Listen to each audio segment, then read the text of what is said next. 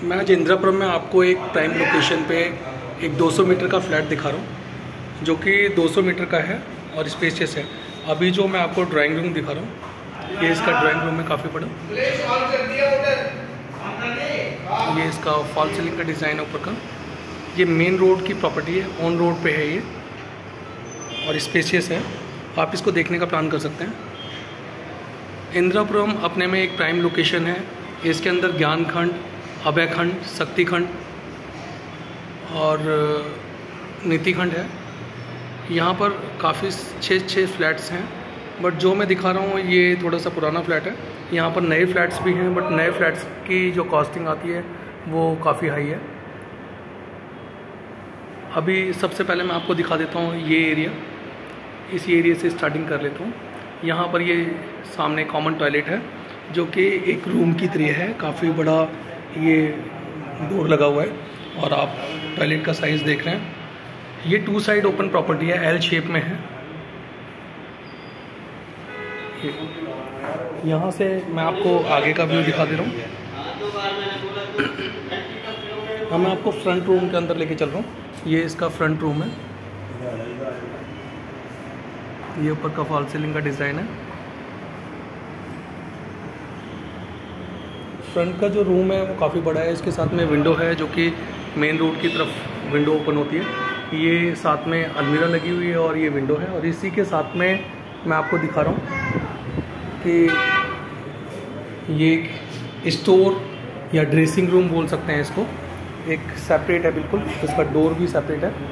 यहाँ से मैं इसकी अगर बालकनी की बात करूँ तो बालकनी काफ़ी बड़ी है। और ये बिल्कुल मेन रोड पे ही बनी हुई प्रॉपर्टी है। ये इसकी बालकनी है। यहाँ से मैं इसका लुक दे दे रहा हूँ।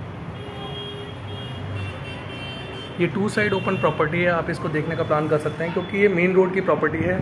इसलिए इसको आप कमर्शियल भी यूज़ कर सकते हैं इस फ्लोर को और रेजिडेंशियल भी यूज़ कर सकते हो। यहाँ पर इसी ड्राइंग रूम के साथ से ये सेकेंड बेडरूम स्टार्ट हो जाता है फोर बी के उससे पहले मैं आपको दिखा रहा हूँ, ये मंदिर की जगह है। ये यहाँ पर इन्होंने मंदिर बनाने के लिए स्पेस दे दिया और यहीं से मैं आपको दिखा रहा हूँ सेकंड बेडरूम ये अब मैं सेकंड बेडरूम के अंदर जा रहा हूँ। सेकंड बेडरूम का स्पेस बहुत बड़ा है और इसके साथ में जो कॉमन टॉयलेट है, वो उसके साथ में अटैच है। इसके साथ में भी विंडो लगी हुई है। यहाँ पर प्लस पॉइंट ये है कि आपको सभी रूम के साथ में विंडो मिलती है। ये इसका अलमीरा का वर्क कर रखा है सारा।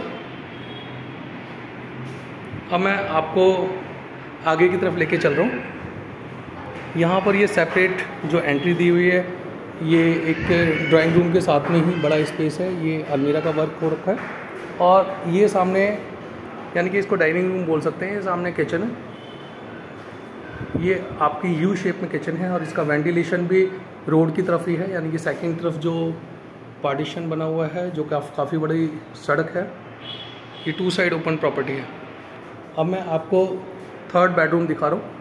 जो दो रूम है, वो पीछे की तरफ़ बने हुए हैं और स्पेसियस हैं। इन दोनों के साथ में ही बाथरूम बना हुआ है। इसके साथ में भी विंडो है, साथ में अलमीरा लगी हुई है। वुडन वर्क आपको सभी रूम के अंदर मिलेगा और पीछे की तरफ़ स्पेस भी है। अब इसका मैं आपको बाथरूम दिखा दे रहा हूँ। इसका बाथरूम काफ़ी बड़ा है। रूम की तरह ही बाथरूम बना हुआ है।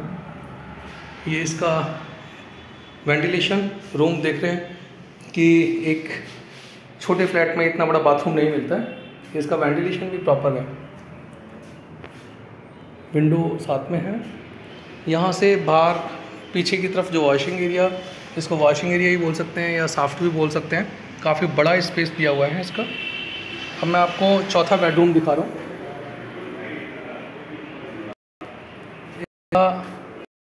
बेडरूम ये आ जाता है। इसके साथ में भी काफ़ी बड़ी टॉयलेट है।